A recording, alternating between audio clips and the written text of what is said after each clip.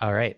We have Tawanna Dillahunt and Alex Lu, and they'll be talking about re envisioning surveillance infrastructure through speculative design and photo voice. And I'll turn it over to you. Everything's good. Great. So thanks so much, Joe, for um, the invitation. Uh, thanks for allowing us to be here and, and, managing logistics. I appreciate all the hard work that goes into a nonprofit. Um, so good evening, everyone. I'm Tawanna Dillahunt. I'm an associate professor at the University of Michigan School of Information. Um, I'm also currently on sabbatical um, at the Harvard Radcliffe uh, Institute as a William Bentinck Smith Fellow. Um, I'm joined by Mr. Alex Lu, who I co-advise with Professor Mark Ackerman at the University of Michigan. So as I mentioned before, Alex is expected to be on the job market next year, and we're both really excited to have an opportunity to speak with you all um, and also hear your perspectives on our work. So today we'll present two distinct case studies about how we might re-envision surveillance infrastructure given the results of our work. So I'm going to start um, by uh, defining surveillance or giving a few definitions for surveillance or what we mean by surveillance. Um, surveillance derives from the Latin word uh, vigilare, which means to keep watch. Uh, the suffix uh, suya in French means over and via uh, to watch. Uh, so literally surveillance is to watch over or keep watch. Per the Cambridge Dictionary, surveillance is the careful watching of a person or place, especially by the police or army, because of a crime that has happened or is expected to happen. So I'm just going to call out that there's a negative connotation with, with this um, definition. So in surveillance studies, scholars define surveillance in multiple ways. Uh, for example, Gilliom and Monahan define surveillance as monitoring people in order to regulate or govern their behavior. So in this definition, we see three different parts of surveillance. Who is surveilled? Uh, people. Why surveillance? Uh, to regulate or govern. And how to surveil. So in this case, through monitoring. Um, we see that surveillance is always embedded in the knowledge power relations. And in each of the cases we see here, each part is situational. Um, we could monitor, you know, through technology, we could surveil more than people. So each, each component here is situational. So there are numerous studies that have demonstrated that surveillance practices have disproportionately impact on individuals who are poor and belong to racial and ethnic minorities, primarily through the criminal justice and welfare systems. Today's surveillance technologies treat individuals as data points rather than acknowledging their lived experiences. Surveillance technologies, these surveillance technologies uphold a social order in service of capitalism. In fact, surveillance technologies have their roots in the transatlantic slave trade, labor control in factories, and population management of nation states. And their role in ongoing racialization must be acknowledged. Black feminist scholars like Simone Browne point out how surveillance technologies overlook the complexities of racialized experiences, while Donna Haraway highlights the damaging effects of the conquering gaze from nowhere embedded in large-scale surveillance infrastructures. In other words, modern day surveillance ignores the subjectivity of the observer and the historical and cultural context in which they are situated. From the standpoint of economic production, modern surveillance infrastructure is situated in and also upholding the Taylorist ways of rationalization, as well as improving efficiency and productivity. And in workplace contexts, surveillance is often pitched as beneficial, uh, at least for employers. And we're seeing increased software demands for employee surveillance since the start of the pandemic, we see that 60% of companies with remote employees use monitoring software to track activity and productivity. As a result, there's work that suggests that monitoring employees can lead to increased profits due to increased worker productivity. So in thinking about who surveillance infrastructure is disadvantaged, we must consider the workers. So workplace surveillance shifts workplace power dynamics in favor of corporations that harm workers for inequitable growth Workplace surveillance enables illegal discrimination, leads to increased worker stress, and hyper enables the de-skilling of jobs and destroys worker autonomy. from a neighborhood context, we see how policing surveillance is employed in working class Black and Brown communities, often under the guise of increasing safety and decreasing crime. Despite claims of neutrality and objectivity, these technologies are based on biased data and reinforced bias systems, which leads to further harm toward low income and working class communities. As a result, the existing relations and knowledge within these communities are disregarded and made invisible. While our work mainly focuses on the work in neighborhood and policing context, I'd like to call out that much of what we've said about surveillance is happening in other contexts like housing, healthcare, and education. Now that we have a high level and historical overview of surveillance and the underlying harms embedded in surveillance technologies, we, return, we turn to the city of Detroit, which is the site of our empirical work. So Detroit is a symbol of American modernity. It's the largest Black majority city in the United States. Uh, the city's median income is about 35,000, which is slightly more than half of the state's median, in, median income. From the context of work, the genealogy of surveillance infrastructure in Detroit can be traced to Fordist labor control as seen in Detroit factories around the early 1910s. Fordism following Taylorism signifies intense labor for the promotion of production. At the same time, we can see the concept of neighborhood and policing, where the Detroit city government and police department have expanded surveillance infrastructures, including real-time surveillance cameras, facial recognition, and gunshot sound detection technologies over the past decade. So Detroit's Project Greenlight is a public-private partnership that is said to, quote, improve neighborhood safety promote the revitalization and growth of local businesses, and strengthen efforts to deter, identify, and solve crime, unquote. This reflects what we said earlier about the narratives often justifying surveillance infrastructures. With these surveillance technologies, people and communities' viewpoints have been excluded. This holds especially true for historically minoritized and racial, racialized communities uh, those who are often most harmed by surveillance technologies. So in our work, we ask the question, how can we trouble and re-envision surveillance infrastructures and their underlying logic? We present two case studies, both in Detroit. The first case study I'll present, which is speculative design and alternative economies. And the second case study, photo voice on neighborhood safety and surveillance, is what Alex will present. Through these two case studies, we address three questions. And these three questions are going to be our key takeaways for today's talk. So the first question is, how might we rethink surveillance with an embedded sense of care?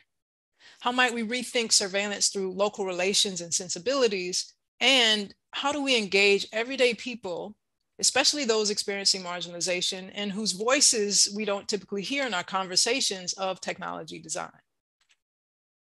As we move into the first case study, I'll talk a little bit about the context of our work and what really what led us here. I'll also share a bit about my work for those of you who I haven't met as a point of conversation because I'll be here actually another year. Um, so for context, most of my work has been done in the space of employment, entrepreneurship, and the future of work. And throughout much of my work in this context, we've asked the overarching research question, how might technologies existing and new, better support individuals experiencing marginalization to support their employment or economic growth. We've reached nearly 1,000 job seekers and stakeholders in our work through a mix of qualitative and quantitative studies, and in using a variety of human computer interaction approaches such as participatory design and participatory action research, surveys and interviews, technological field deployments, and evaluation. Most of our research has focused on job seekers' perspectives, although we have contacted external stakeholders like career counselors for a more comprehensive understanding of the employment process among our job seekers of focus. While the focus of my work was not surveillance explicitly, we also encountered adverse effects of job search monitoring in some of our later work. So monitoring and surveillance in an employment context applies to both workers and job seekers uh, really goes beyond workplace surveillance, but you know the, the actual job search. So in this case, we're talking about monitoring um, which jobs you actually apply to if you're unemployed. Um, so some of the regulations force people um, to to apply for jobs that they're overqualified for, but just for the sake of kind of completing a checkbox and receiving their unemployment check, they're, they're monitored and, and uh, forced to apply. So the aim of my earliest empirical work was to investigate what type of support job seekers valued. This work showed that they appreciated tools that provided application feedback, connected them to offline resources, and specified where to obtain the skills that they needed for employment without requiring significant digital skills.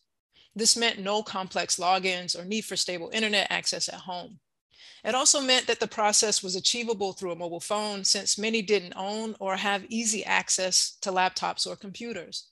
Thus, part of my research has focused on understanding how to develop tools that center job seekers' needs and capacities while bridging gaps in digital literacy. Without going into too many details, one key finding is that involving job seekers in the design process, which is a form of participatory design, is empowering. So not only do they begin to see themselves as designers, but they also value their contributions back to their communities. And this brings me to my current work with some of my colleagues from HCI, where we argue that it's time for us to reimagine new systems and raise the narratives of those experiencing very, various forms of marginalization so that we can inform the future technologies that are being developed. So the challenges we discussed earlier, technology's perpetuation of Taylorism, racism, discrimination, and harm however, extends beyond engaging marginalized populations in the technology-based education to positioning them in roles where they envision how they see technology amplifying their strengths and values. So where do we begin? So the work I'll present today builds off of a collaboration with my colleague, Professor Christina Harrington. We began eliciting tech futures among Black young adults in a remote speculative participatory design study during the COVID-19 pandemic. The work examined technology's role in the imagined futures of Black young adults in a Chicago summer design program. Our research revealed that the youth encountered difficulties in imagining a future free from today's social issues. So race and social class obstructed their ability to envision the future. We came to understand that the act of envisioning requires disrupting the system that normalizes oppression and is based on cultural hegemony. This hegemony is perpetuated through technologies and spaces that prioritize certain groups and identities, which limited our participants from thinking radically about the future. As a result, the youth's utopian aspirations centered on having access to basic resources, and their visions of the future were limited to their immediate experiences and surroundings. So, you know, what did we do after seeing those results? Um, what we did was return to Afrofuturism, which is a genre of speculative fiction that intentionally explores futures created by and featuring Pan-African experiences. As you might be able to guess from the beautiful images shown in the slide, um, this is a cultural, artistic, and literary movement that imagines a future where Black people have a prominent and positive role in society.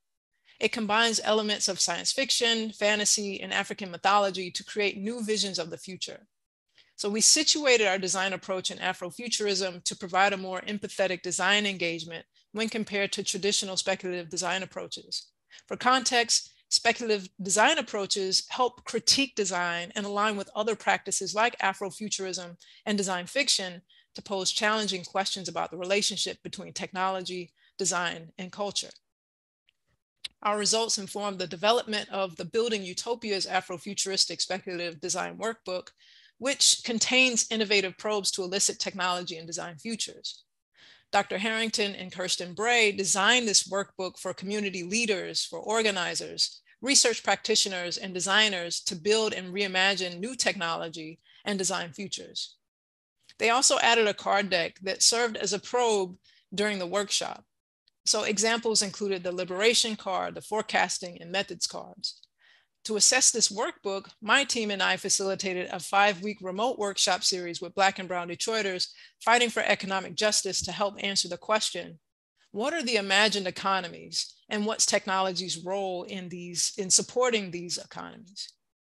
So in this work, we wanted to empower community participants by inviting them as designers who collaboratively documented design fiction and digital artifacts through storyboards to imagine new models for employment, economic development, and growth.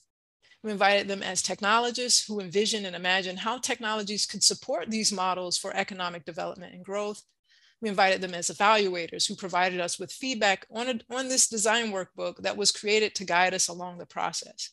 Finally, we invited community participants in as thought leaders who shared their expertise and wisdom throughout the sessions. Just so you know, we handed, uh, we handed these workbooks to our community partner who then gave uh, the workbooks to community participants for our study. So we assign homework after each week and discuss the homework the following week. So just to give you an overview of what happened in these sessions, um, the first week really was an introduction and educational session where we explained the meaning of speculative design from the perspective of our field. We used clips from Black Mirror, which is a British anthology television series based on uh, the Twilight Zone, to demonstrate how media conveyed such futures, which in a way was mind blowing for our participants. We also took the time to explain the concepts of utopia and dystopia through these episodes. We also explained computing concepts like robotics, artificial intelligence, and the Internet of Things. So another goal for us was to educate communities on such technologies and identify them in Black Mirror clips so that they can see them in action. Um, we thought that this could help people envision new futures and also understand the role in which technology played. So in weeks two and three, we identified community values and strengths. Um, I just want to take a second to, you know, ask, you know, ask you to consider what might a surveillance infrastructure that considers a community's values and strengths look like. So you just take a minute to just think about that. We're gonna, you know, talk about the results of the study, but but I invite you to, to, to think about this for yourselves. So with guidance from our community partner, we used a tree metaphor um, the roots of the tree represented community values, the trunk represents strengths, and then all our alternative digital economies represented the tree leaves that would bear fruit. So the community values here represent the top three values from the community organization. Um, community participants voted on multiple strategies of power, anti-racism and anti-capitalism, and leaderful movements as their top three community values um, for their community strengths. Um, these included, you know, trusted community uh, members, community leaders, neighbors, friends, mentors, and, you know, I was excited that they said professors, um, community elders, family, um, the contested church, and then um, people called out young folks for tech support. We spent the fourth week building on these values and strengths to reach utopian futures. So as researchers, our interest here again is really understanding what role technology played or could play in reaching these futures. So we probed here for alternative digital economies. However, in today's presentation, I'm gonna focus on aspects of surveillance that arose. So just for context, um, we encourage groups to think about the future and, and I just wanna call out that there are very similar themes uh, representing you know, their, their values. So we saw things like decentralized childcare and communal childcare. Um, people describe childcare as being like a miniature United Nations of ambassadors. Uh, people talk, talked about the importance of children constructing their own uh, learning and curriculum. Um, in terms of you know, technology's role, I really want to call out through um, some of the discussion around uh, robots as, as an example. Um, so, you know, people said if we use robots, it's really to support parents in supporting their parental roles um, and ensuring things like proper nutrition. Um, we're not using robots to take over the role of parenting. Um, so thinking about technology as being used to help us instead of taking over uh, for us. So that was uh, kind of an underlying theme about technology's role. Um, we also heard themes of parent uh, parental housing co-ops, volunteer-based babysitter programs, and then we heard things like time banks, or which required a currency that was built on trust. So another central theme uh, for utopian alternative economies included um, surveillance of love. And I'm going to talk about this given the topic of today's talk. So in, in one utopian future, um, love was at the foundation of the economy. Here, community members imagined that neighbors, churches, and the community uh, saw nothing but love 24 seven. Uh, they imagine using uh, technology to surveil uh, for love, really so that they could understand who in their community wasn't receiving enough love. So they could find out through this technology who wasn't receiving enough love so that they can provide that support um, to those people. So in contrast to um, our current surveillance infrastructure that surveils for low productivity, uh, this form of surveillance surveilled for people's feelings really, so that they could be provided with the support they needed. Um, here, Detroiters are more concerned about the person's well-being. Uh, they weren't looking to surveil people for crime or, or even safety for that matter. Um, I do want to call out, however, that this led to critical inquiry about how technology was developed how it was regulated, and how it was owned. For instance, um, how is love sensed if we surveil for love 24 7 to provide community support? Who surveils? Who senses? Uh, what if we don't love or show love in the same way? Um, many of these same questions about technologies that have already been deployed, um, especially in minoritized communities, uh, could be asked or should be asked. Uh, and part of the work uh, I'd like to do while in this area is to inquire how we might hold community conversations beforehand to consider how technology is deployed. So had we had such conversations earlier, you know, one question is, would we surveil? Um, if so, would we do so in the same way that we do today? So we concluded the series with a discussion of tangible ways and next steps to work toward our utopian futures the last session was also a way for us to serve the needs of our community partners.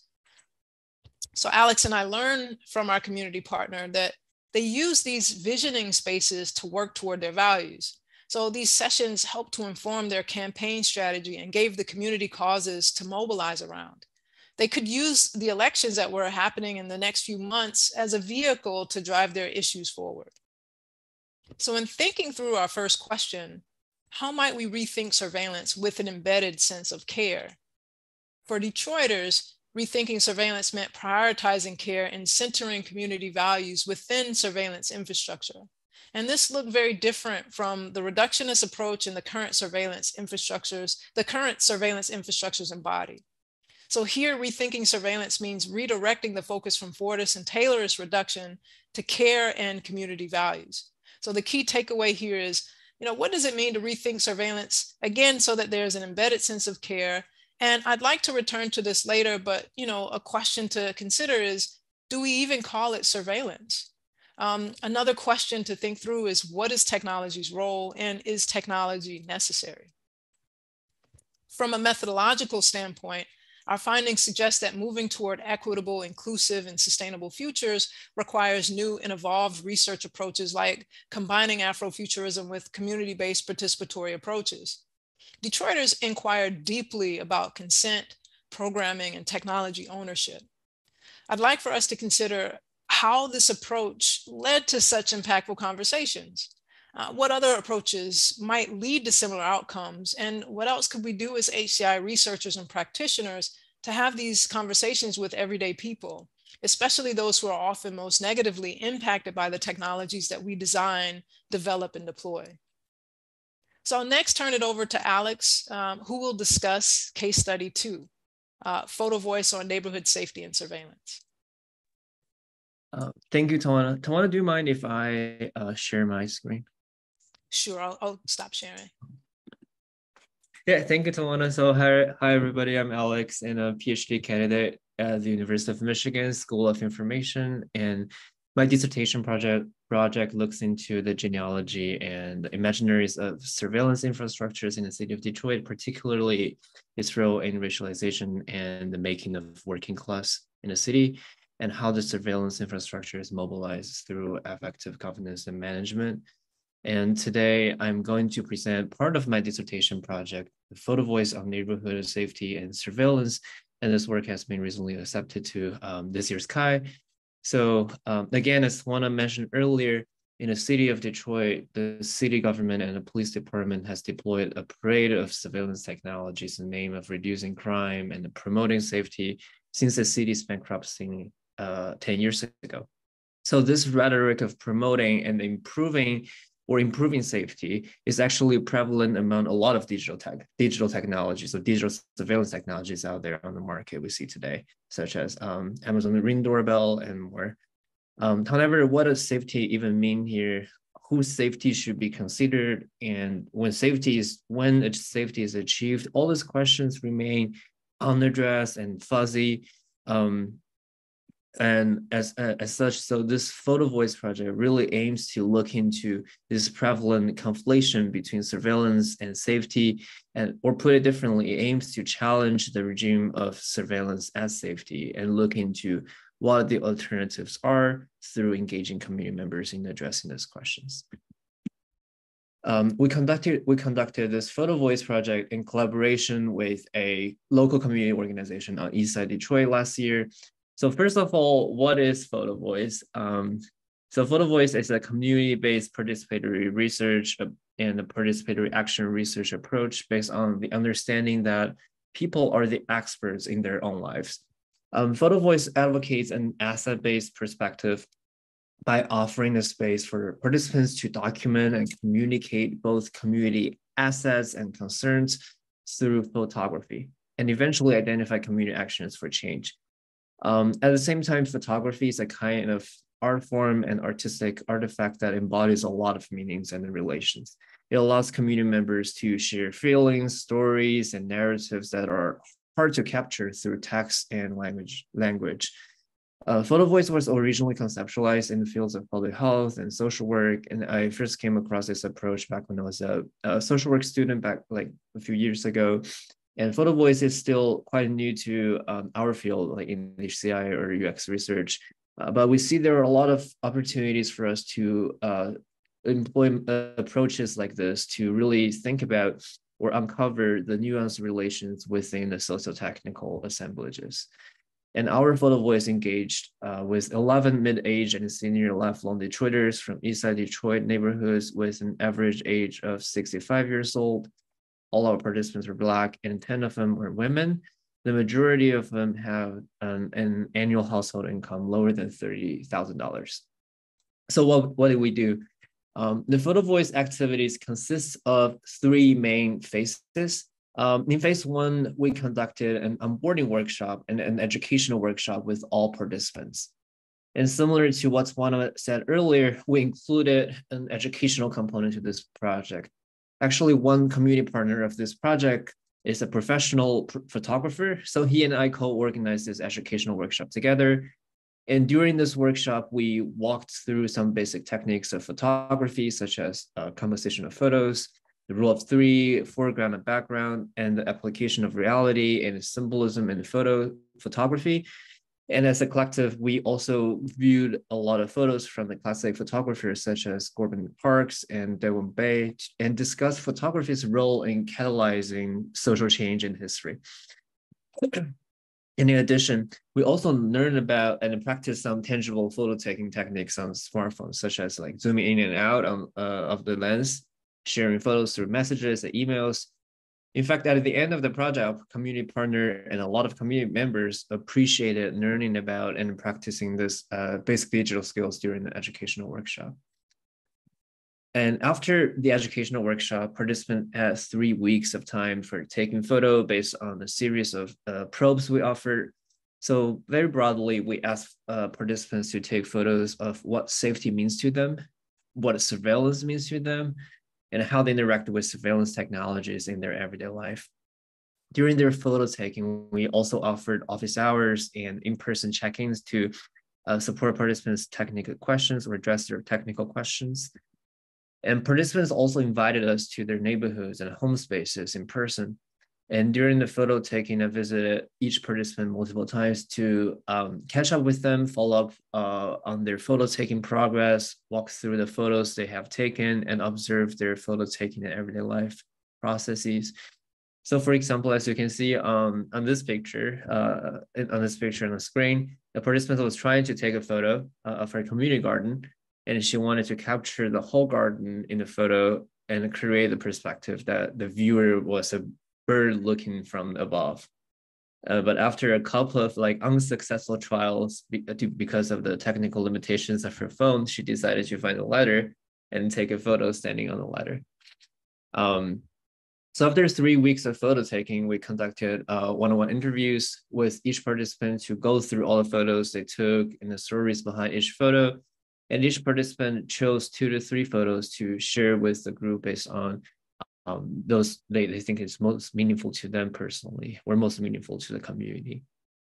And finally, we conducted a group photo viewing and reflection workshop where all participants reviewed and discussed each other's photos in smaller groups and we came back together as a big group to identify the shared themes, what, it, what all those photos mean to us as a community, and what kind of community actions we should take going forward. Um, in fact, during the workshop, participants also wanted to host a community event to showcase their photos to the broader community members who were not really part of the project. So the community partner and the university partner collectively planned and organized and hosted this community-based photo exhibition two months later. Um, and our participants collectively brainstormed the name Every Photo Has a Story, an East Side story on safety and surveillance from behind the lens. And the exhibition included attendees from various groups, including um, participants' families and friends and neighbors, and also uh, community, other community members, community organizers, uh, folks from academia and the media. So for, for this exhibition, participants' photos were printed in the size of 8 by 10 inches and displayed on stands around the, the community center along the captions created by the participants. And during the event, all 11 participants were able to showcase showcase their selected photos and the messages they wanted to share through those photos. Um, and this photo served as a starting point for attendees to start like engage with the dialogues with one another and reflect their own experiences with the community safety and surveillance. Um, you can refer to our case study for more details and takeaways of organizing community-based events and participatory action research. Um, I also wanted to emphasize that while like the photo voice activities only consisted of the three main phases, but the whole collaboration process, like between the community partner and the university partner extends much longer than that. So there was a long period of like prep, collab, collaborative preparation before the, the research activity started and also ongoing collaboration efforts on sustaining the research efforts and informing community actions. Um, yeah, after the, the, the, those three phases up until today. Um, so next, I want to go through a couple of key points on how this work could help us to rethink safety, surveillance, and their conflated relations, and how, what it means for us to um, to to to find the alternatives and rethink surveillance infrastructures. First of all, um, to community members, safety is very relational, situational, and mutable. Probably when we when we think about safety, probably means very specific things like uh, you know, like avoid specific harm on the street or avoid certain things. Um, but their photos and stories demonstrate the very intricate relations within their safety networks uh, in their neighborhoods. Um, and this neighborhood, uh, this networks include not not only human actors like their family members, neighbors, and friends, but also a wide range of non-human actors, including animals, for example, like their pets, like their dogs, their wild animals like birds, rabbits, bumblebees, or plants like the trees and flowers, and even uncut weeds around them, and also material objects like stair lifts at home or abandoned houses in the neighborhood, and spaces like vacant lots and community gardens in the neighborhoods. So for residents, their sense of safety it stems from all these relations in their everyday life. And in this way, safety is deeply relational and situated in a particular time and space. And what safety means is internally multiple and fluid from achieving uh, from achieving bodily autonomy in home spaces for some older, more senior participants to avoiding threats and fear in the public spaces to even seeking peace of the body, mind, and attune themselves to the nature. So to navigate and achieve the sense of safety, residents had to practice what we call everyday noticing. Uh, so the idea of everyday noticing is built upon anthropologist Anna Tsing's notion of the art of noticing. And in our case, practicing everyday noticing requires residents to attune, uh, attend to their encounters with the surrounding human and non-human actors we mentioned earlier, and carefully attune themselves to this actor's rhythms of living and relating to one another. And I want to show like some examples of how that looks like through photos. So the visual process of seeing is very critical, is a critical mode of residents everyday noticing. Like Ms. Tamara mentioned here, like I tell people, you got to be safe. We got to look out for each other when things don't look right. Um, I know how things look over here. So if I don't see Miss such and such out after 10 o'clock, then I think, oh, is she all right? Because that's not normal how she do. Or I know that I got a neighbor that come in at 10 or 11, they come from work. Um, so it's just the awareness. You just got to be aware of things. And as you see, as you, you, you see here, everyday noticing is not only simply about seeing or observing what is going on in, in one's surroundings or what's happening in their neighborhoods.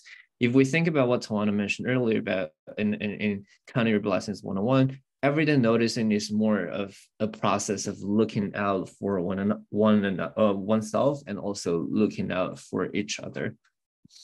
And many participants' photos and stories also, illustrate how sound and the process of listening play a, in, uh, a critical role in their evident noticing or navigating in, in navigating safety. For instance, uh, Ms. Wanet's photo portrays uncut bushes and weeds across the street from her community garden.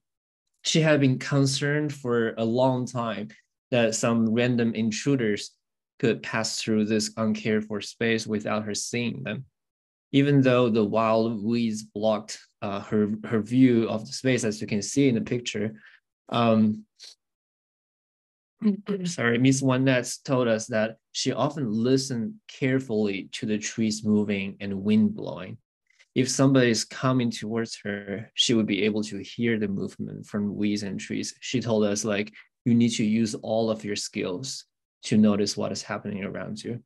And while these weeds signal some broader system, systematic challenges faced by Detroit neighborhoods, such as the lack of city's uh, accountability and the ongoing dispossession, Ms. Wanet had to compromise and work with the weeds to achieve a sense of safety in this very constrained material condition. And Ms. Wanet's practice of noticing can be viewed as the very manifestation of this conflicting rela relationality and the ongoing negotiation of safety within these relations. So in this way, every noticing is very is multisensorial, rooted in the collaborative looking out for each other, and deeply situated in the local knowledge accumulated over time, and the knowledge of knowing what is typical to them. So how how they look like or sound and how they look like or sound like in their neighborhoods. So this situated knowledge and viewpoints um, embedded in everyday noticing really help us to contrast it from large-scale surveillance infrastructures, reductive gaze from nowhere. For example, in Miss Toya's photo, I always feel like somebody's watching me shows the intersection in her neighborhood. Um, as you can see in this photo, there's a surveillance sensor on top of the pole. However, there was another surveillance camera at intersection at this intersection that was removed a while ago before this photo was taken. Ms. Toya was once interested in finding out if the camera had documented any evidence of graffiti and housebreakings happening in her neighborhood. However, she was not able to find any public information on who was behind the now removed camera.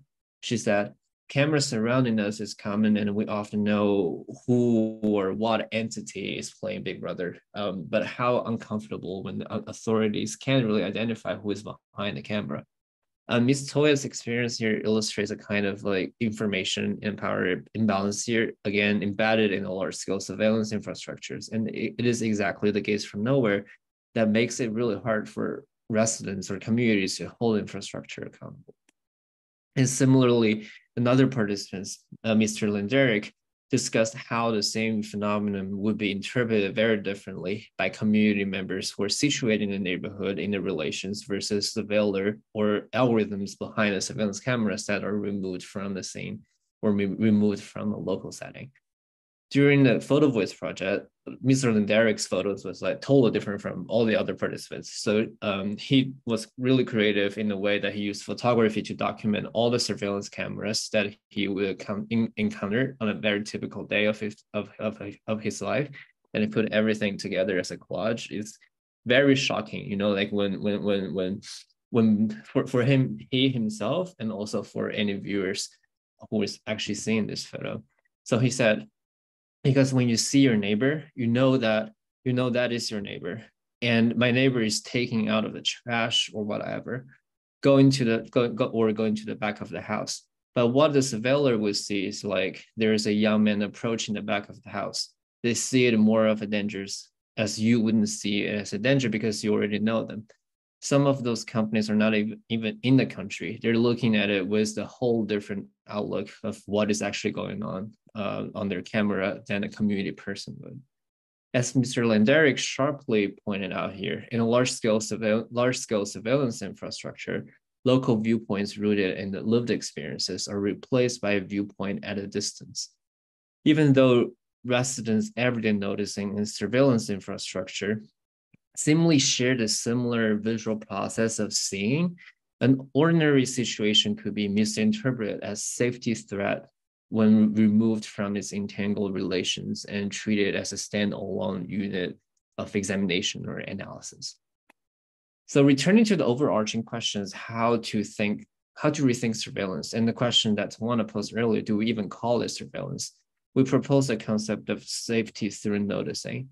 And we argue that it to dis- that disrupting the gaze from nowhere requires the redistribution of what is visible and sensible this what, what this really means is to trouble the dominant reductive visions embedded in the regime of surveillance and safety, we need to decenter and redistribute what is visible and sensible from the large-scale surveillance infrastructure.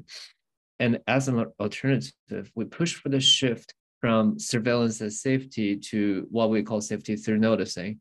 And as we have shown, safety through noticing opens up a multitude of or the fluid meanings of safety on the one hand, and the multiplicity of safety and practices of navigating safety, in fact, illustrate why equating surveillance and control with safety is internally reductive and limited.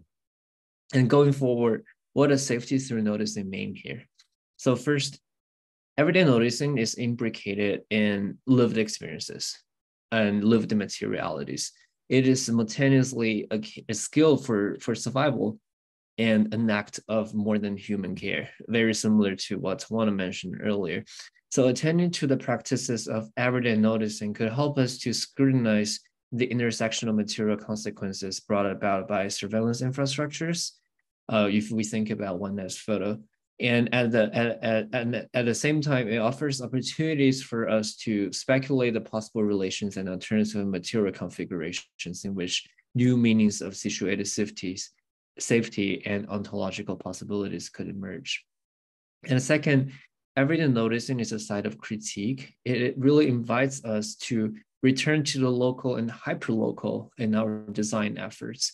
This means to return to the local situated knowledge existing relations or new relations, and the local materialities. Indeed, the everyday noticing practices we observed in this photo voice project could not be scaled up. And in fact, they're not meant to be scaled up. Um, for example, it, it wouldn't be rather arbitrary to like think how we could scale up Miss One as noticing of the weeds. Um, but these acts of everyday noticing become powerful counter narratives to the present premises of delocalization and the ontology of separation reinforced in our modern capitalist society through surveillance infrastructures. And through a more than human intersectional lens, we in HCI or UX, UX research and design should be able to continue to make visible counter narratives of lived experiences to thwart the hegemonic cultural uh, uh, hegemonic surveillance as safety and account for safety through noticing, just like what we aim to do through this photo voice project. And this will guide us moving forward or moving toward imagining a new more than human world that put a local and communal relationality to the fore and that no longer center on the prescribed fear. Together, the second case study helped us to attend to the question of how might we rethink surveillance through local relations and sensibilities. And again, rethinking surveillance requires researchers, community partners, community members, and designers to really return to the local, the local experiences, situated knowledge, and relational meanings of safety on the ground instead of designing technologies for abstracting and analyzing individuals at data points, we need to think about how does design for noticing would look like, or imagine how design for noticing would look like. And similar to what Tawanna mentioned earlier about the surveillance, surveillance for love or counter blasting 101, people might love in different ways. And how the meaning of safety is very multiple and fluid as well. So the question would be how to attend to the multiple meanings of safety and account for the situated processes where the meanings of safety is negotiated and the sense of safety is achieved. And perhaps more importantly, this requires us to shift away from the overarching techno-solutionist ideology of designing and deploying new surveillance technologies to address the safety issues or seeing safety as issues and redirect our attention to supporting locally situated relations and more than human entanglement. And next, I'd like to talk more about the methodological contributions and reflections of these two case studies and what, what they mean to us, and how both the participatory speculative design approach and the photo voice approach could be meaningful to um, HCI's ongoing effort in decentering hegemonic social and cultural dominations particularly the capitalist, patriarchal, and racialized logics embedded in the design and deployment of most of today's technologies we see, and why it is important to engage community members or communities that are the most that are minoritized impacted in this very process of decentering. A key question that we sought to start answering and reflecting on is what Professor Roderick Crooks posted in his recent article, Seeking the Liberation, how to re reintegrate the production of knowledge with the study of the implications of the knowledge. I would like to talk about four pillars or four um, factors through which these two cases contribute to this process. First, fostering relationships. Um, in both projects, the community-based imaginaries of alternative economies and the residents' photos of their everyday negotiation of safety both make visible um, the existing complex relations within the communities. And at the same time, one of the most important part of both projects is really um, that they both created or crafted a space for community members to come together, get to know each other. In other words, get to know your neighbors. This shared spaces also stage opportunities for new encounters and foster new relations. And as we have shown, it is exactly through these relations that the sense of safety is produced and a sense of care is, is, is negotiated and the new opportunities for preferable futures could emerge. And second, noticing different viewpoints. So we need to bear in mind that no community is completely homogeneous. Like even within the East Side Detroit neighborhoods where um, within a specific community, there are a lot of different viewpoints. No, not everyone in the community sees or sensitizes the world in the exact same way. For example, in the participatory speculative design project, whose needs should be prioritized looked very differently for each individual at the beginning of the workshop. And in the photo voice project, how residents perceived the meaning of safety was not the same um, for each one of them. And however, it is through these approaches and that community members and stakeholders could come together and have dialogues with one another. And it's through these dialogues, community members, community organizers, and even researchers and designers uh, and other stakeholders, and probably policymakers, would have the opportunity to notice and learn about community members' different situated viewpoints and challenge their own taken for granted frames of references, and then reflect on the limitation of our own viewpoints. For example, like Tawanna mentioned earlier, community members were able to notice how love was sensed and interpreted differently. And in the case of photo voice, participants were able to learn about the stories of why particular kinds of safety was featured in, in someone's photos. Um, and they were able to uh, re- think about like what kind of safety uh, might have been ignored and should be taken into account going forward. And this ongoing processes of noticing different viewpoints and challenging the taken for granted references points could perhaps inform new ways of knowing and relating to one another and inform collective actions going uh, go uh, collective actions among the communities going forward. And third, building community capacity. Um, as we have shown in, in, in both cases, community capacity building is a critical component. In both cases, community members were able to develop some sort of tangible digital skills and knowledge, such as taking photos or smartphones, sharing photos with families and friends, um, AI or Internet of Things.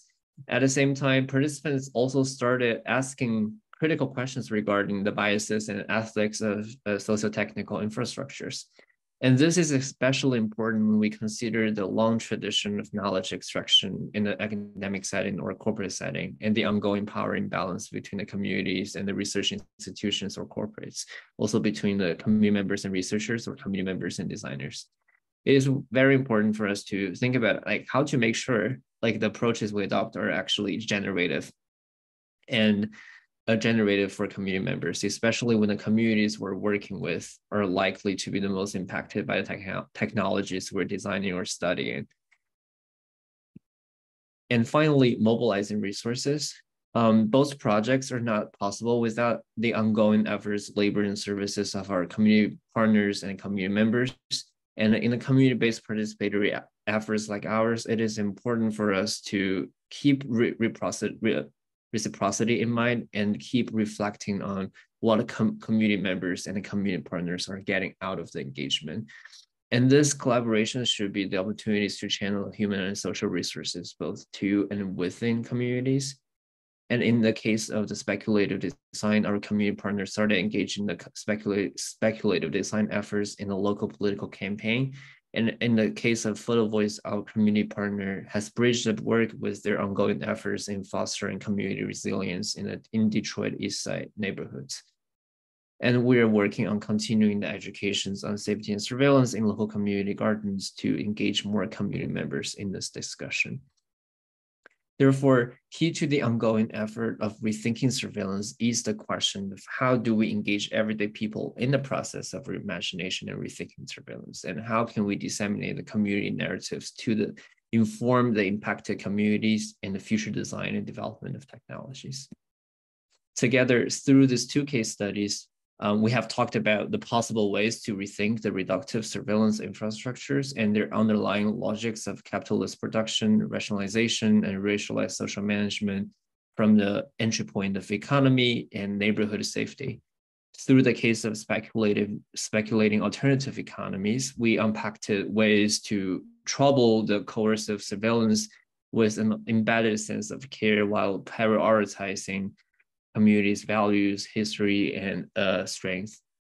And the underlying question becomes who conceptualizes, designs, and owns the surveillance technologies. And second, through the Photo Voice project, we have highlighted that rethinking surveillance requires us to return to the local, the local relations, local knowledge, and local sensibilities through attuning to everyday noticing as the alternative. And finally, and perhaps more importantly, rethinking surveillance should prioritize minoritized communities that are mostly impacted by surveillance technologies. In other words, engaging community members in the very process of knowledge production and reimagination. I'd like to end the uh, presentation here and take your questions. Before, before I do, um, I'd like to thank our research team, colleagues, and collaborators, community partners, and of course, our founders, Google Research and NSF, um, and Tawanna, I do have uh, some questions for you. so, um, like, we'd like to hear your thoughts on, you know, like first, like in your current roles, how might you reimagine or re-engineer surveillance infrastructures or technologies based on the work we've presented today? Um, and what specific concepts, if any, come to mind after hearing this work, or what would your approach be to begin con- concretizing or piloting them?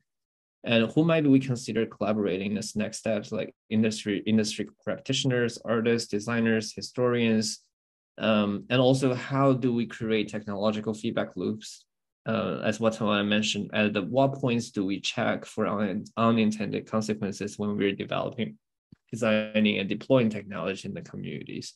And when do we circle back the knowledge um, or engage the community members in the process of um, knowledge production.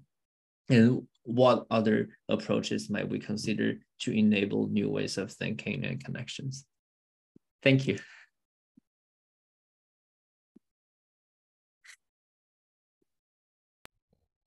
All right. This has been such a great talk or two talks, and I love how they go together so perfectly. It's uh, such a rich story. Um, yeah, so I guess we can open it up to anybody who wants to answer these questions.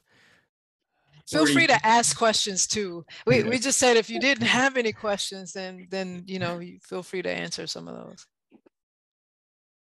Um, I was curious about like the technique in general of of photo voice. Is the important part like pairing the the quotes with with pictures, and eh, are those curated by a single person, or are you kind of curating it after the fact?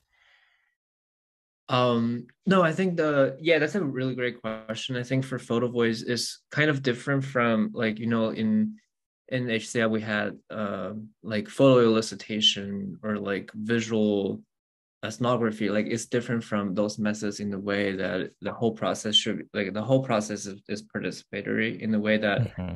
um, the, the the captions and narratives are um, developed by uh, the participants. Of course, it's, it's a co-production process. I can't say like there's no, I, I didn't really play any role here, but it's more like how, uh, or like the research team or the community team doesn't really play a role here. It's like collective co-production process, but um, the photos and captions are developed uh, during the process of photo taking. Yeah. Awesome. Thank you. Yeah. Um, other questions? Uh, Marcella, do you want to talk about what you've written here? Yeah, sorry, unmuted. Um, there you go. Yeah, I just say um, it reminded me of cultural probes. And I know you mentioned the word probe, so you probably already cited it. So, um, and it also reminded me um, back in the day, I, I went to a workshop that Eric Paulos and Ken Anderson did at um, UbiComp when it was in Orange County in 2005. And I, I know Eric used to do a lot of kind of interesting stuff with probes back in the day, but now that he's at Berkeley, I don't think he gets to do his interesting stuff. So um, I, I don't know if there is really a UB comp community or an urban computing computing community, or is everything kind of going through CHI nowadays?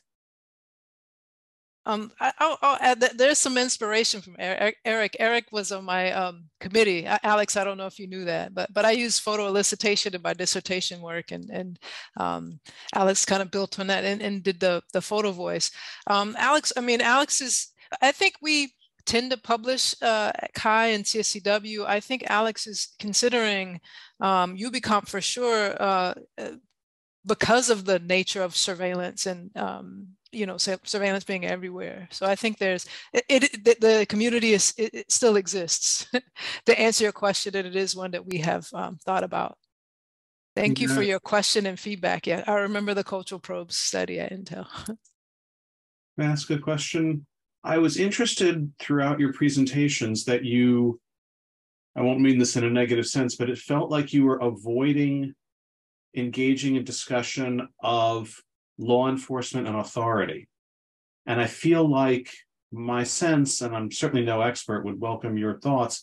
My sense is that most of the surveillance infrastructure that we interact with on a day to day basis is imposed by uh, often police authorities or government authorities or others. And uh, obviously, communities of color have had, um, what's a polite word, a checkered uh, history of interacting with these authorities. And I'm wondering if in your participatory work, did the participants bring up those authorities or talk about their uh, their interactions and and who you know you mentioned who was behind the camera did did the authority figures or authority organizations like the police enter into that conversation um, of course like law enforcement and city government is like a huge actor um, in the surveillance infrastructures in the city of Detroit. Not not only about the the the the, the law enforcement and city government, but also like a private private uh, corporates and the tech companies in the city of Detroit as well. So part of the project, part of the my dissertation actually looks into like how um, law enforcement and the private, so public and private institutions are actually, um, sorry, my cat is here, uh, developing or like deploying surveillance infrastructures in the city of Detroit and how certain kind of rhetorics are being reinforced. For example, like how specific kind of safety is being defined in this narrative. Um, of course, like uh, and the police, police and law enforcement has been actually occurred multiple times during both projects. I would say. Um, I, I will I will talk about the photo voice first. So um, I think photo voice is interesting in the way that again a lot of participants are older, uh, are like more senior uh, participants in the communities. So in a way, we need to really highlight that there is also this very different generational perceptions of law enforcement and the relationship with the law enforcement, especially consider um, the ongoing history, like long history of like the police brutality and the police presence in the, in the, in the, in the neighborhoods. So um, it's very different. Like um, sometimes participants can really like there's I think there are two things, like two layers here. One is need to emphasize and talk about the police departments or the, the presence of police uh, behind the surveillance infrastructures, especially Project Greenlight. And also the second is really the technology's role. Technology is not only like an extension of the surveillance, but also think about the, the, the biases of technology as well. So both cases actually uh, surface in the photo voice project. For example, in the Mr. and Derek's photos, um, he was actually that, that photo actually triggered a long discussion around law enforcement and everything because um, when he was actually taking the photo, he went to all the different uh, he he went into the different buildings, different uh, institutions to talk with people who are working there. Say like, oh, who is like, why you have the surveillance infrastructure? Oh, surveillance cameras here. Are they on or off?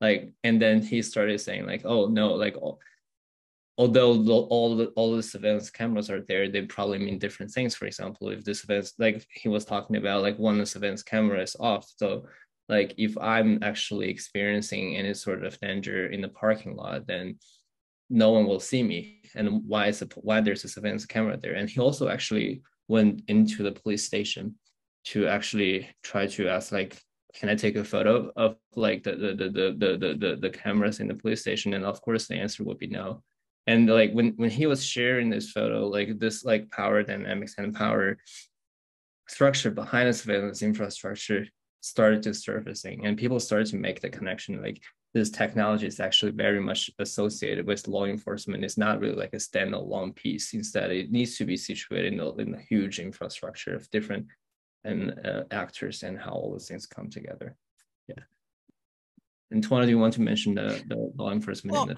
I'll just I'll just add that I think going into this, um, we we I don't think we were avoiding law enforcement. We we knew very much that you know they were a player, and you know part of the the you know part of our goal was to you know uh, uncover alternative narratives around this, right? Like I, I feel like policing is really the main narrative that we hear from a law enforcement perspective.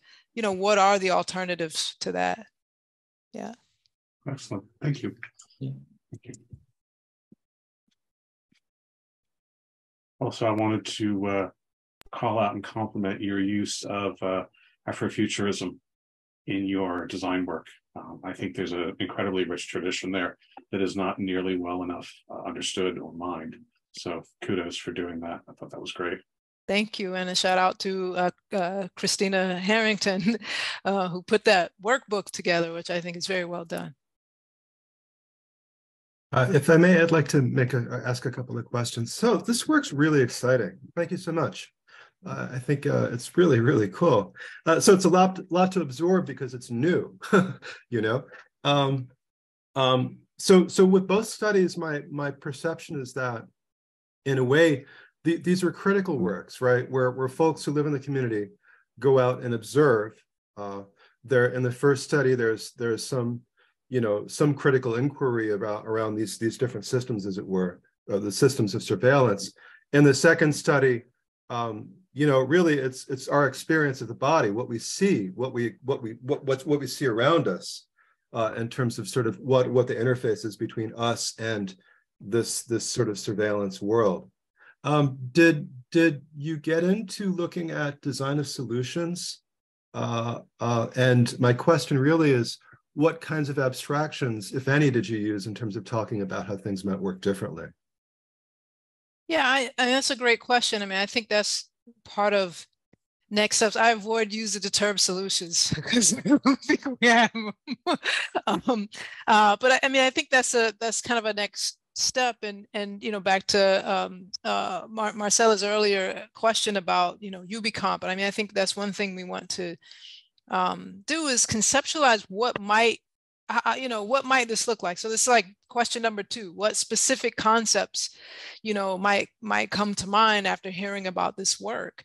And um, you know as a next step i think it would be like show these concepts not just one or two but uh, you know 10 15 different concepts and um, get feedback um, from you know hear uh, community uh, members uh, thoughts about them and and co-design you know together continue to rework. So it's like here's what here's what we think we got from from you know these these two studies. Um, what are your what are your thoughts and how might you you know change them or what would you add to them? And then start the process from there um, before creating or you know piloting anything concrete but just conceptualizing this. So i think that's something we want to do next if I may follow up, um, there was a recent article in Technology Review, which was a critique of design thinking, uh, really looking at design thinking as, as um, in the way that it's practiced in sort of a business setting as extractive. That we, you know, consultants come in, we interview, we visualize, and then we go away. so we take the signal away, and we also leave behind, uh, uh, you know, in the frame of the article, expectations that can't be fulfilled. So, so, but that said, design thinking is one technique that, uh, in terms of participatory design at the conceptual level, that, that comes to mind for me. The other one for me is, is systems thinking. Uh, uh, and I guess, you know, the, the evolution of that might be the work of uh, Peter Senge. Uh, uh, and so I'm curious if that, that if, if either of those approaches are sort of on your maps or, or if you have a feeling as to sort of how a community organization, a community partner might be able to work with so, those techniques in, in this setting. So thank you. Alex, did you want to take that or did you want me to start? I can I can take step. I think like uh, also like back to the first question too. I think besides design, I think one thing that I like Tawanna and I've been thinking about is really like what Tawanna mentioned is who owns the technology. And like it's not only about who owns who is using the technology or own the tech, technical artifacts but the ownership of the whole infrastructure in which like the data for example where the data is, it, it is stored how the technology is designed how the data is actually being used. So like there's I think tied it back to the, your question of like both design thinking and system thinking is really important to like uh, also back to your question of like uh, your your point of uh, being uh, design thinking being abstractive exactly thinking about how like we can bring the design thinking and system thinking back to back to the local or even hyper local and how like because for example in, in one of the workshop or in one of the uh, panel we did together um actually one participant I if you want to talk more about that feel free to jump in. There's one participant say like we have green light in, in the city of Detroit, why don't we have a yellow light instead of like having the police departments to control or to own the infrastructure? Can we like have, is is it possible to have a community owned yellow light project? yellow light project like everything looks the same but it's owned completely owned by the community so i wonder like how technologies like that could look like and how like uh, the, the local situated knowledge could contribute to um, the design, both design thinking and system thinking that way. Yeah, I, I would add that I think we're, um, uh, I don't know that we're calling what we're doing design thinking. I think one of one of my takeaways is, you know, what are these new approaches look like?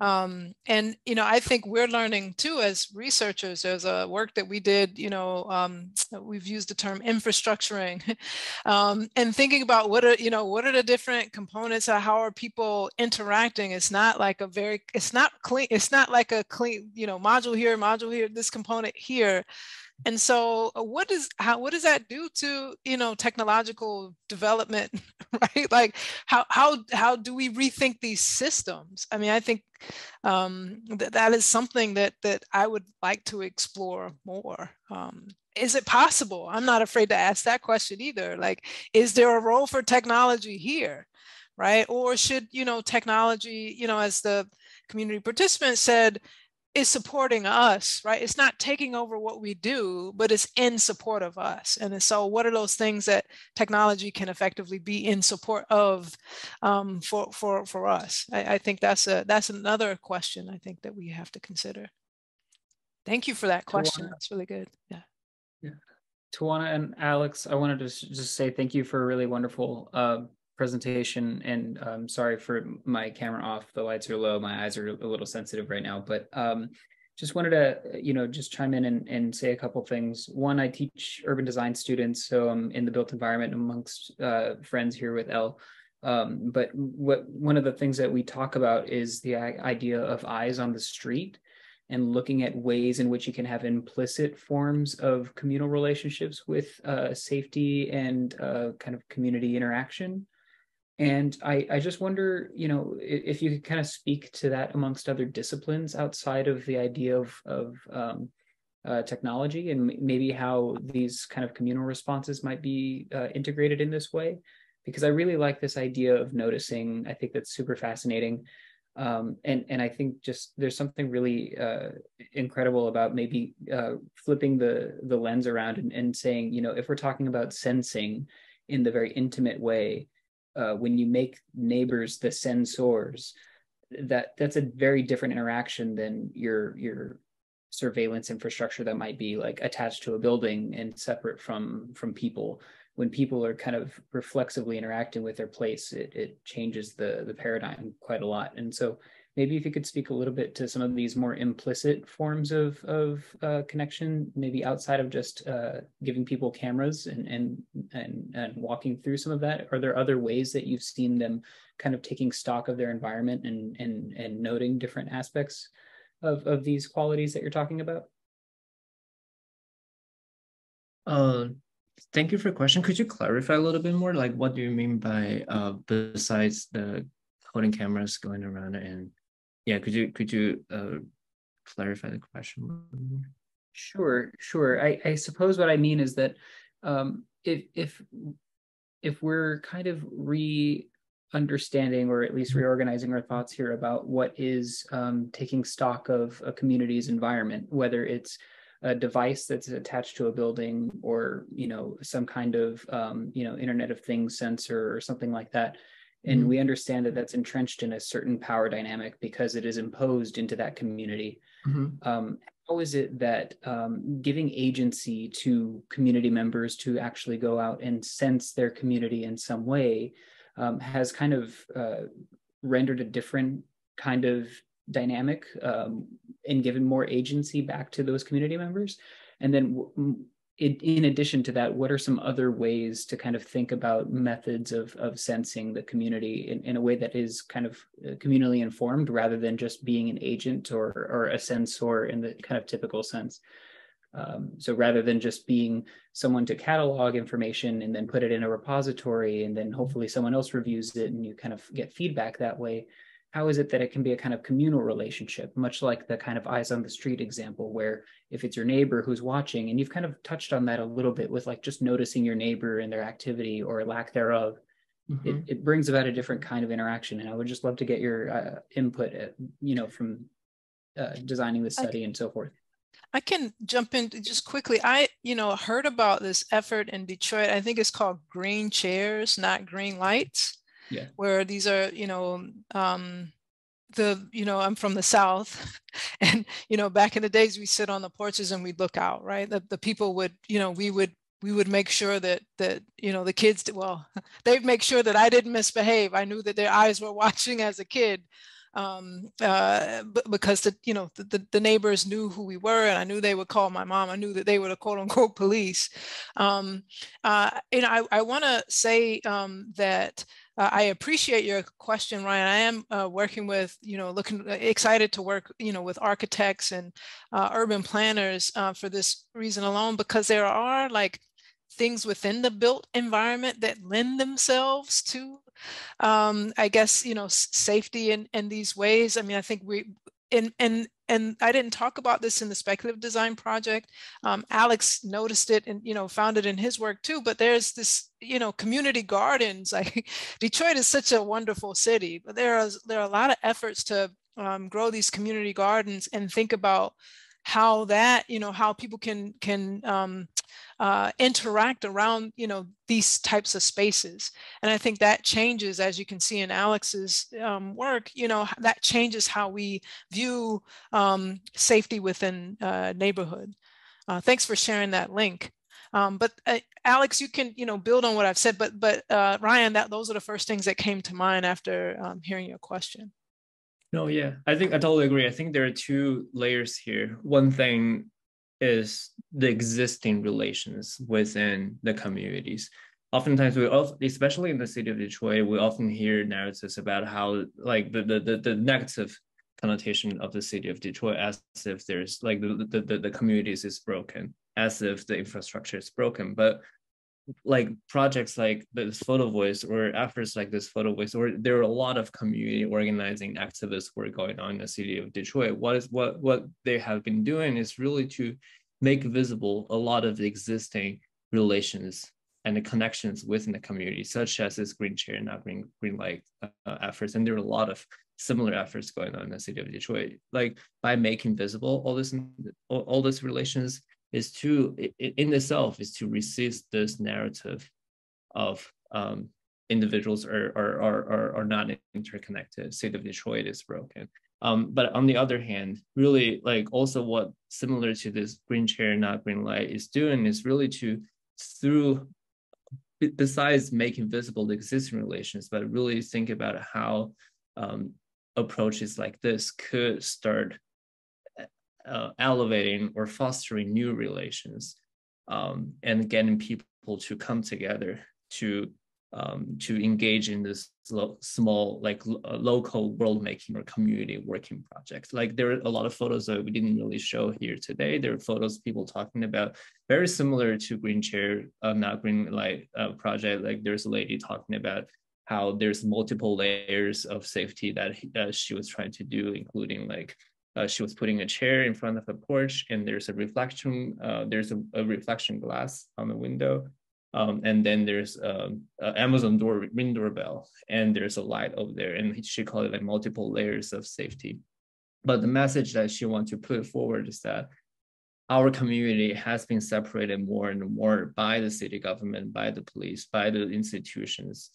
Um, and it is through through these photos i want to show i want to showcase that the relations is so important in our communities and i want people to put their put their chairs on their porch and look at each other look out for each other more. And it is like through the message through the photos it is their intention to engage the community members in this world making process. Um, so i hope that answers your question. Very much so. Thank you. Yeah it looks like there's a, a question in the chat um, from L. Um, L, did you want to, um, you, you want me to raise it or, or did you want to, is L still here? Oh, yeah. Hi. Okay, hi. Yeah, uh, I can't even remember what. It is um, answering the question, my, who is behind yes. the curtain? Okay.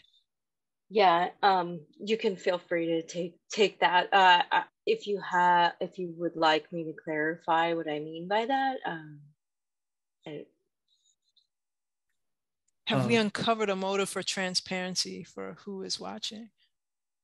So a motive like, from our participants about uh, transparency? Is that? Well, from every stakeholder involved with the surveilling uh, environment. So um, you want, I think that I'm presuming that the goal of surveilling is is is actually at its heart like really to protect um, the communities around the area that it is surveilling uh, uh, or or control people which is perhaps not exactly like a good goal. So um up with the a way to um, be transparent about who is watching might give some agency to the people who are being surveilled um, and have you come across that sort of idea in your research? And if so are there motives for people who are watching these surveillance footage like videos or you know whatever live um is there a motive for those people to sort of put their name on it? Um I can start answering that question probably. Um, I think for the motives, mo- like oh, I think what you, you, mentioned is very in, in, in, very interesting or correct in the way that a lot of surveillance infrastructures we see are black box. In a way, for example, like the, the huge surveillance infrastructure probably what is visible to to us is like the surveillance cameras or in the city of detroit the the, the case will be the flashing green light uh, on a small businesses. Like that is the basic manifestation manifestation of how the whole surveillance infrastructure will look like. But the whole infrastructure and the underlying logics are oftentimes hidden. Um, and the, in, it's interesting like in the photo voice project for example people started to asking a lot of questions or like try to peek into what is behind the scene or try to start um black boxing a little bit by by themselves. For example, like uh, going back to Miss photos that I, like that that that we showed earlier. Like he took all this like surveillance cameras that he noticed on a typical day, and then it was like he literally was like, I never realized there's so many surveillance cameras out there, and all the surveillance cameras means different things. And it's also sim- like similarly because like he was like, I go to the, supermarket every day. I go to grocery store every day. Those surveillance cameras are there, but it's not really something I will pay attention to or notice because of my taken for granted way of seeing because I always just go there and get my stuff and leave. I never noticed there's surveillance cameras there. And just like taking photos or like be intentionally taking photos of the surveillance cameras in the ways like forced him to or uh, allowed him to kind of encounter surveillance infrastructure infrastructures and think about why they're there and think about like the the the, the, the underlying logics inside of the uh, the black box and also uh, in our uh, ethnography work in the city of Detroit, we also talked with folks who used to work in a real-time crime center who actually have the access to, who are actually like actually monitoring all the surveillance footage uh, from the green light cameras. Um, and like it's very interesting like very every single individuals who are working in real-time crime center it's not like they're they don't really have any discretion they don't really have any agency going on.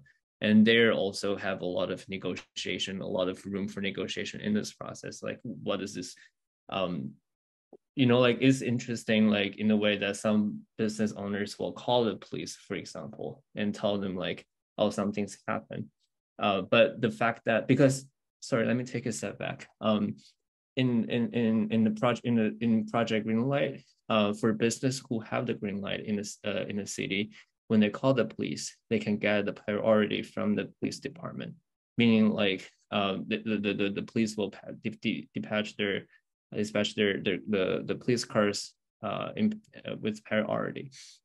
So for some business owners, they, they intend to call the, business, the, the, intend to call the police, not to um, if someone is like selling drugs or doing anything funky in front of the uh, the stores, they're calling the business not to ask the police to actually get to this get to the location, but to showcase or like as a muscle flexing thing, like I can call the police and the police can actually um, respond to my to to my call quickly. So there's a a lot of room for negotiation in this process in the way that uh, surveillance infrastructure is not always like um, completely um, stringent in this way. So I think back to the question of like thinking about who is behind the curtain definitely started to uh, initiate a lot of critical discussions around the area of like what this gray gray area is and how to really help us to think about what is behind um, behind the curtain and think about uh, how we can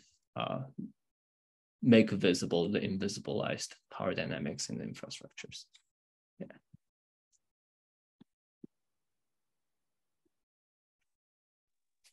Thank you. Yeah. yeah, I just thought that there was an obvious, um, like, our relationship between the the people who are being watched and the people who are doing the watching, and uh, what can you do to empower the people who are being watched with um, keeping in mind that there is like typically there's always bias um, from the people who are watching. I think what I might have heard from Alex's responses is that um, at least tell people how how it's working, right? Who is you know start to um, make transparent that what that black box is. I mean i do remember hearing people say um, we don't even know if this thing works. Like is there someone? And so they develop their own you know mode of thinking like i don't think anybody's watching um, but maybe it makes them feel safe or maybe it makes that person feel safe to know that it's there if that makes sense or or it's just this perception like well it's doing something right um, but it, i think one step is just to to be clear and transparent about how it works. what is facial recognition, right? Like, how does that work, right? Um, I think that's a that's a step, mm-hmm. um, and then that would at least give uh, empower residents to to say yes or no, right? Um, because if you're coming with, oh, this is safe, it's a green light, now you can, you know, you get priority, you feel safe, you know, they're like, yes, everybody wants, yeah, everybody wants to be safe, but or you know that that notion but when you're you know critical about it it's like wait a second this isn't really what we need or ask for it's not working in the way that you know um, I, I think that allows conversation. And and choice. I see that there's one last question. I don't know if we have time to answer it. Oops i was muted. Sure. Yeah, yeah. Um, that was my question. You've mentioned power imbalances, um, we can take this this issue of transparency as a sort of a, a micro case of that. Uh, people don't know who's watching, and then behind the people who are actually watching, the police, the dispatch center, and so on, there are people who um, paid for them, and people paid for them are the ones who are really calling the shots and they don't want you to know who they are. And they don't necessarily want the system to make you safer. They want it to make them safer to have their interests upheld. Um, how could you deal with that?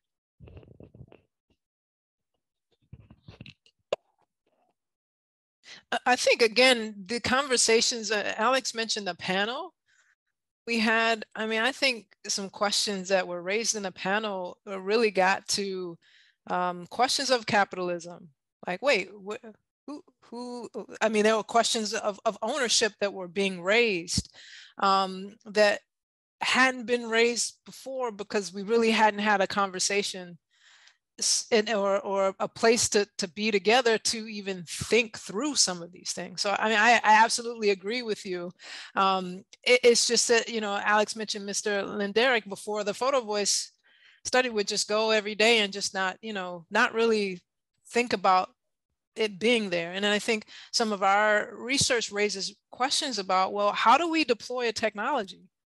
you know it's like these things are magically there and now they're everywhere but how did that even happen you know where were the opportunities for people to question what is this thing being installed in my neighborhood like that doesn't it doesn't seem to happen and i think part of our work is pushing for how do we have these at least have a feedback loop where you know we're told that it's, it's working we can question what's the change like who's benefiting, what's you know what's happening, so that we can say yay or, or nay to it. But the way things work now is just you know being deployed and to these communities, and there's you know they don't really have a choice. Um, and I also want to highlight that it's also important, like to, that's why like this process of like education and learning is really important in, in, in the work, in this kind of work, especially in, for example, in the city of Detroit, there's a lot of like activists going on, activist activities going on, uh, and activist groups and coalitions doing political education in educating the community members of what surveillance means and what this power dynamics actually is. The what because a lot of times the power imbalance are hidden. Like it's not really, it's not like it's hidden, it's not like visible to everyday participants. And there are multiple ways of showing that power imbalance or talk about that power imbalance with the community members. And that is definitely the first step um, to actually start challenging the power imbalance or like to to to actually start rethinking what the alternatives could look like.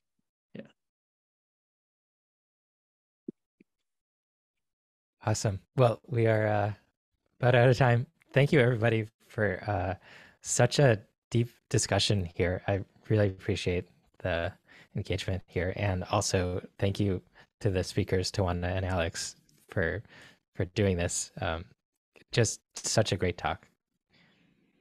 Thank you so much. Thanks so much for having us, Joe, and thanks everyone for for taking time out to be here. Um, and it was such a pleasure meeting you. Hopefully, I'll, I'll uh, get to see you in person.